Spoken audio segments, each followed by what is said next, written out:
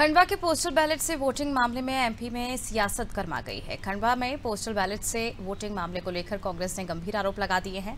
कांग्रेस का आरोप है कि शासकीय कर्मचारियों को सत्तारूढ़ भाजपा ने षड्यंत्र पूर्वक मतदान से वंचित किया है। वहीं बीजेपी का कहना है कि कांग्रेस के पास कोई मुद्दा ही नहीं बचा है। ये पूरा काम निर्वाचन आयोग का, ना कि बीजेपी का है।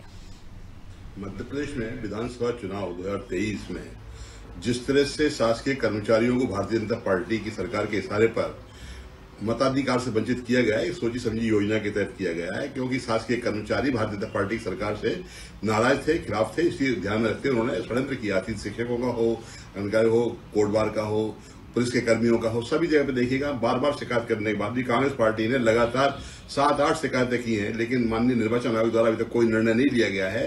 हमारा ये कहना है, जिस तरह से खंडवा में पुलिस अधिकारियों के द्वारा, पुलिस के लिए जो वोट डालने व्यवस्था बीस तारीख की गई थी, ऐसी व्यवस्था पूरे प्रदेश में करना चाहिए। देखिए, कांग्रेस पार्टी हार की हताशा में बुद्धिहीनता का शिकार है।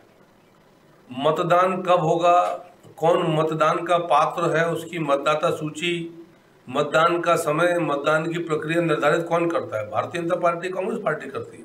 कि निर्वाचन आयोग करता है? ये चुनाव आयोग तय करेगा कब किसको मतदान करना है। अधिकारी, कर्मचारियों के जो ड्यूटी में तो उनकी मतदान की एक प्रक्रिया थी। दिव्यांग बुजुर्गजनों के मतदान की एक विशिष्ट प्रक्रिया थी। तो हम सबको चुनाव के निर्देशों का पालन करना चाहिए और यदि कांग्रेस की भी कोई भी मांग है, समस्या, शिकायत है, चुनाव आयोग से बात करें। खंडवा के जिस प्रकरण की बात कर रहे हैं, वो प्रकरण अभी जाँच में विचाराधीन है। उसको चुनाव आयोग ने क्या करना है, कार्रवाई करना है, स्वीकार करना है स्वीकार करना है, चुनाव आयोग तय करेगा। इससे भारतीय जनता पार्टी का क्या लेना